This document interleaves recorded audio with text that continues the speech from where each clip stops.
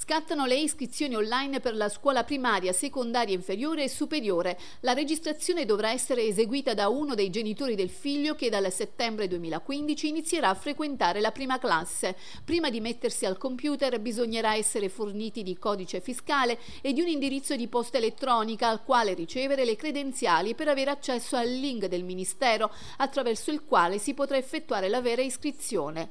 Alla prima elementare dovranno iscriversi i bimbi che compiranno hanno 6 anni entro il 31 dicembre 2015 oppure tra il 31 dicembre 2015 e il 30 aprile 2016.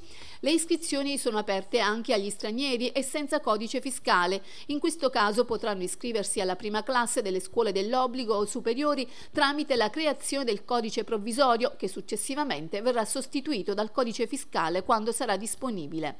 Prima di sedersi davanti ad un computer per la domanda online bisogna sapere bene a quale scuola iscrivere il proprio figlio figlio, poi bisogna collegarsi al sito www.iscrizioni.istruzione.it e seguire le indicazioni.